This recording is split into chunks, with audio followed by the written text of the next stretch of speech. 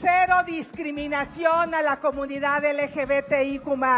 Cero discriminación. Pleno reconocimiento a sus derechos humanos. Adelante, compañera.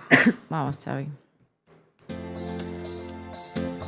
¿Para qué me invitan? El análisis internacional de Ina Afinogénova. Cero discriminación, más cultura. Bueno, vamos con un vídeo directamente. Cállate, cabrón. ¿Qué, güey? A ver, ¿qué, güey? ¿Hay nothing? Papi. Papi. Vamos a llegar aquí. Che puto, cabrón. Che gordo de mierda. Con el carita. Pinches putitos, cabrón. Te dejan vender, pendejo. Te dejan vender por unos putos tacos, pendejos. Pinches gatos, cabrón. Puede ser. ¿Dónde están sus putos huevos? ¿Dónde están? ¿Dónde están? Se los tengo que poner yo para que se los pongan el puto transporte. Ven, pendejo. Ponte huevos, cabrón. Me vale madre, señor, te vas a poner huevos. Un joven en estado de embriaguez en uno de los barrios más exclusivos de México, no de la Ciudad de México, sino del país entero, Polanco, repartiendo insultos homófobos, gordófobos y clasistas a los porteros de una discoteca. Nada de otro mundo, lamentablemente, pasa todos los días en todo el mundo con pijos, chetos, fresas y frinos que se emborrachan. El típico, tú no sabes con quién estás hablando de toda la vida. ¿Por qué acabamos de ver esto entonces? Bueno, porque este pijo fresa, cifrino, borracho, clasista, es Juan Pablo Sánchez Galvez, hijo de la candidata de la derecha mexicana a la presidencia del país, Xochil Galvez. No es un fresa cualquiera. Y como no lo es el hecho de que llame a unos trabajadores gatos y cometacos, palabras despectivas que usan en México para referirse a alguien que está por debajo de uno en la jerarquía social, el hecho de que diga que puede golpear a chicas y no pasa nada, el hecho de que intente golpear, por cierto, a los propios porteros de esa discoteca en la que intenta entrar, pues toma otra dimensión. El vídeo se hizo viral ayer en las redes sociales, lo compartió el comunicador mexicano Cayo de Hacha. Y está claro que alguien se lo filtró, porque México está en plena contienda electoral. El vídeo es repugnante, la actitud del tipo es repugnante. Ahora bien, no es Ochil. Él no es candidato y no tiene por qué salpicarle a la madre el comportamiento de su hijo, digo yo. No tiene por qué. El caso es que Juan Pablo, además de ser hijo de Xochitl, fue hasta hace unas horas coordinador nacional de jóvenes de la campaña de Xochitl Gálvez. Se encarga de presentar propuestas de apoyo a las futuras generaciones dentro del equipo de su madre. Ah, que esta señora colocó a su hijo en un puesto en su campaña electoral. Buen comienzo. Todo un clásico, si somos sinceros. Ayer, cuando el vídeo se hizo viral, Juan Pablo publicó uno nuevo, ya sobrio y bastante más tranquilo, pidiendo disculpas. Está circulando en redes sociales un video donde lamentablemente estoy en una muy mala condición. Antes que nada, quiero pedir una gran disculpa a toda la gente que haya ofendido. Estoy muy arrepentido de mis actos y no hay justificación alguna para insultar así. Quiero aclarar que esto fue hace un año y en su momento me disculpé con el personal de seguridad del antro y todo el personal del antro y ellos lo saben. Estoy aquí para darles la cara, reconocer mis errores y asumir mi responsabilidad por lo que he decidido hacerme un lado de mi cargo como líder de las redes de jóvenes y seguiré apoyando a mi mamá como un hijo y créanme que he trabajado y seguiré trabajando para ser una mejor persona. Vale, pues el vídeo es de hace un año, ya les pidió perdón a los que llamo cometacos. Es de asumir que ya no pensará lo mismo de la gente de clase trabajadora y seguirá trabajando para ser mejor persona. Se ha equivocado y no volverá a ocurrir. Sobre la fecha en la que el vídeo se grabó hay dudas. De hecho, el comunicador que lo filtró insiste en que es de mediados de noviembre, no hace tanto, es decir, en unos momentos en los que Galvez ya se lanzó a la carrera presidencial. Sea como sea, lo que está claro es que este vídeo forma parte de una guerra sucia digital en plena campaña en la que vale todo y en la que parece que para la sorpresa de Xochitl Gálvez pueden participar todos también, no solo los de su lado de la contienda. Pero todo esto no empezó precisamente ayer, empezó hace dos meses con publicaciones en grandes medios, incluyendo medios internacionales, de acusaciones gravísimas sobre una posible financiación del narcotráfico que no se sostienen nada más que en titulares entre interrogantes.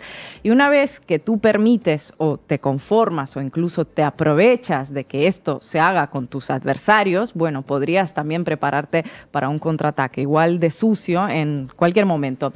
Y lo digo porque en esos últimos dos meses la candidata y todos sus apoyos mediáticos no parecían estar nada incómodos con la campaña digital con narcoetiquetas que se ha desarrollado en redes sociales en contra de Claudia Sheinbaum y de AMLO.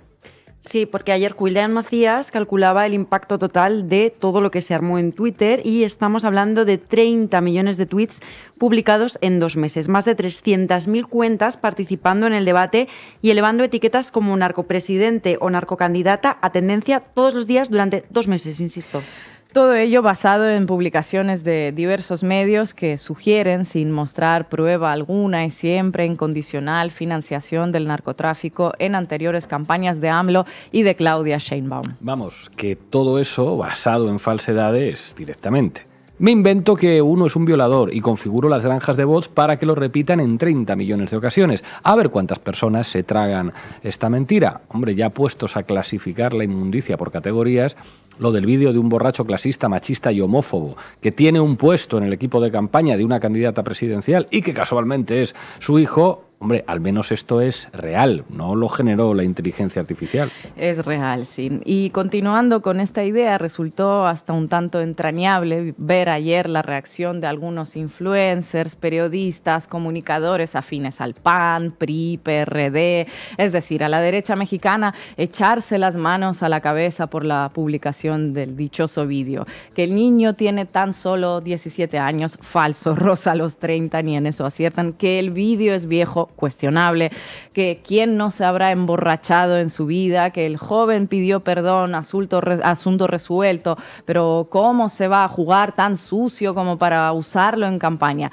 Bueno, ¿Qué decirles, no? Para empezar, a mí me parece fatal, pero llevo más de dos meses viendo lo indecente que está haciendo esta campaña presidencial. Pero resulta que estos mismos señores de piel tan sorprendentemente fina parecen haberse enterado ayer que sus mismas tácticas se les pueden devolver a modo de boomerang, que pueden inventar mentiras, que pueden llegar a dañar a la familia, que pueden manipular hasta límites insospechados. Algunos de los indignados de ayer, incluida la propia Xochil Gálvez, llegaron a usarme a mí como piñata, ya saben, por eso de la facilidad de mezclarme con Putin gratuitamente por mi pasaporte y porque trabajé en un medio público ruso, para atacar al presidente López Obrador después de que se atreviera a concedernos a Canal Red una entrevista.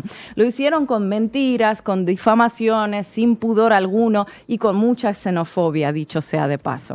También dieron credibilidad y difusión a todas las publicaciones sobre el presunto dinero del narcotráfico en la campaña de 2006 y ya si nos ponemos a escarbar, pues qué decir de los ataques a los que sometieron en los años anteriores a los hijos de López Obrador y a su compañera, en fin. Y esta es la gente que hoy denuncia tácticas asquerosas que pareciera que no existieron mientras la principal damnificada era la candidata de la izquierda. Y así es como reaccionaba la propia Xochitl Gálvez a la publicación del videíto en cuestión por el contenido de ese video. Eh, mi hijo ha una disculpa. Eh, yo como mamá tomé acciones en el momento que me enteré de lo que había pasado. Pues van a tratar de sacar toda la guerra sucia porque obviamente para ellos, como no me encuentran a mí nada, en mi persona, obviamente van a tratar de dañar con mi familia, con mi hermana, pero bueno, estoy lista para eso y adelante yo voy a llegar al debate con todo el ánimo porque lo que me trae aquí es mucho más poderoso que cualquier ataque. En fin, hijo rebelde al que usan, porque no pueden encontrarme nada más a mí. No le puede encontrar nada más. Bueno, tampoco se sabe hasta qué punto sacar un vídeo real de uno de los miembros de tu equipo de campaña haciendo básicamente el ridículo es tan asqueroso, ¿no?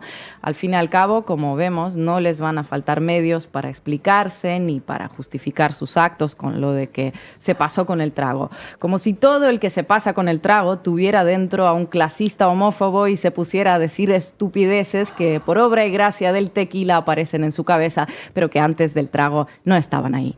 Algunos acabamos bailando, ¿verdad? Nos pueden grabar libremente. En fin, a ver cómo va el primer debate presidencial al que dice Xochitl Galvez que va a llegar súper bien. Es este domingo, 7 de abril. Estaremos muy pendientes. Gracias, compañera.